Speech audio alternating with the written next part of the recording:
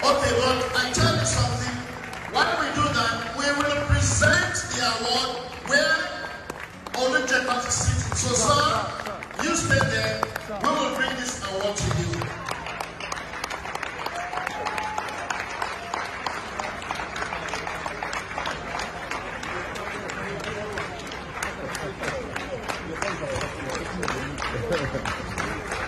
Let's give that applause,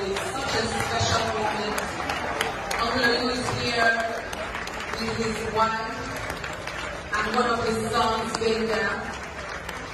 It's such, such a special moment. We can keep the applause. Let's keep it going. Let's keep it going. It's important that we celebrate our legends while they're still with us. Not when they're gone, while they're here, while they're still alive. We celebrate the legendary, the the outstanding Olu Jacobs. With a voice like none other, performances like none other, spanning through many generations, spanning through many continents.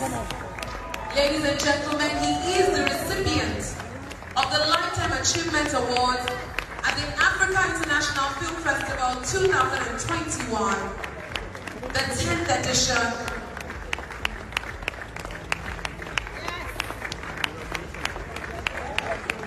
this is such a moment. Africa celebrates you, sir, and Africa celebrates you.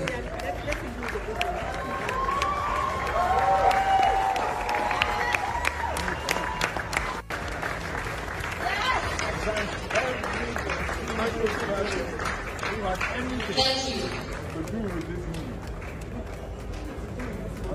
right. Thank you so much for honoring him, everyone. Thank you so much for giving him the ovation. We celebrate you, sir. And thank you so much, Mr. Francis.